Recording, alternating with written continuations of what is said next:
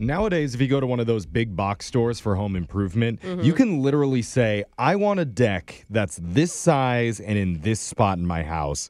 And they'll hire a team to go over and just build it all for you. Wow. Yeah. Isn't that man. right? Alexis, you may want to do this just to flirt with some boys. Yeah. Handy boys or women. It sounds super convenient. It's way faster than you doing it. And theoretically, everything should go 100% according to plan. Oh, it always does whenever you're doing any type of construction, Jeff. Well, unless Yeah. the person hired to build it for you is an ex British black ops agent named Clover. Oh, That's where things can get a little sticky, and it's exactly what happens in your phone tap right now.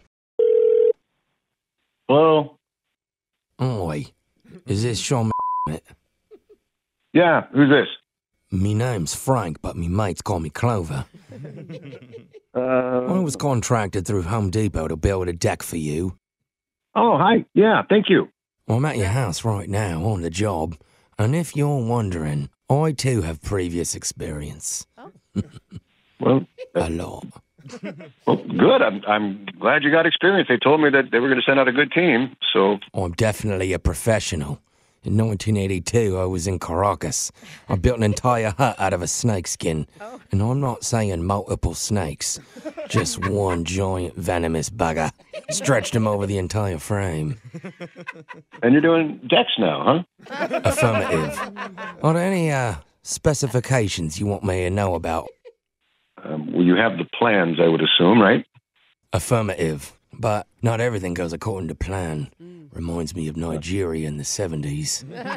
I, well, I bought custom railings, and those are really expensive. And I know there's a particular way that you need to put them in. So I'm assuming they taught you how you know how to do that. Well, I don't read the instructions, I just do it.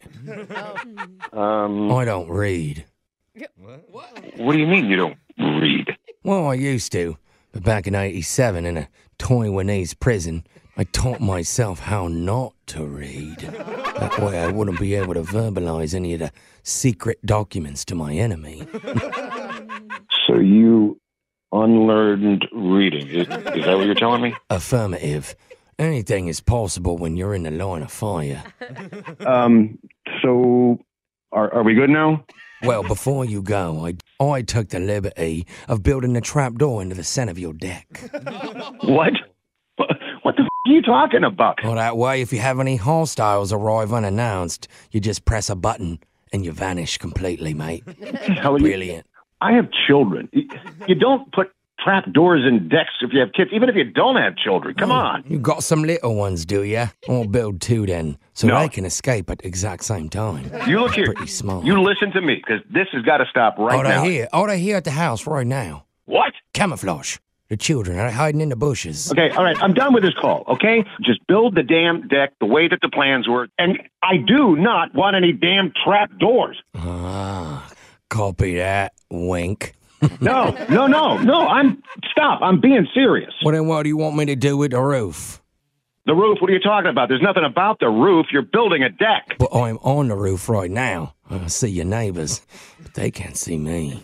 You need to get off my property now. Okay, well, I think I can make it to your neighbor's roof. Bullseye. Got the chimney. Are you on drugs? What's wrong with you? Well, it's probably the fact that this is a prank phone call. None of this is real.